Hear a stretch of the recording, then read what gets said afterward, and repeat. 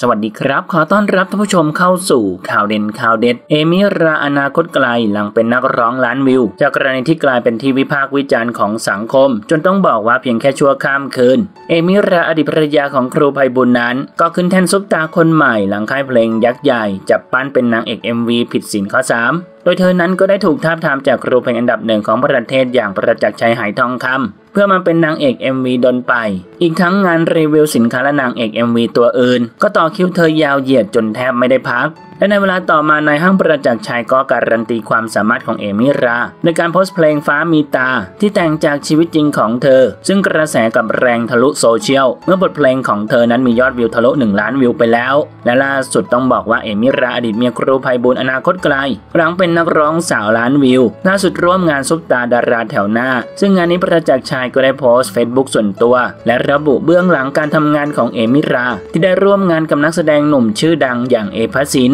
อีกทั้งประจักษ์ชัยก็ยังได้โพสต์ระบุข้อความว่า เจ้าแม่ MV คนล่าสุด 1 สัปดาห์ปล่อย 5-7 เพลงเอมิราท่านผู้ชมนะครับ มีความคิดเห็นอย่างไรกับเรื่องนี้ลองแสดงความคิดเห็นเข้ามาดูนะครับ ขอขอบคุณข้อมูลจากมุมข่าวขอบคุณครับ